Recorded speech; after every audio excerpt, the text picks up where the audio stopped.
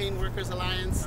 We're a national coalition of food worker organizations that include uh, everything from restaurant workers. So we have a lot of uh, McDonald's members and one of our member organizations called ROC, the Restaurant Opportunity Center. Um, and then we represent workers all down the food chain, uh, including food processing, there's UFCW locals that are members of ours, all the way down to farm workers. So Coalition of Immokalee workers who actually had a campaign against McDonald's and won it are also our members. And so I'm just here to tell you all, I'm just here to tell you all that, that we're, we're with you, right, in this fight. Uh, not just to raise the minimum wage, that is definitely one of our priorities for those of you who have not signed our petition.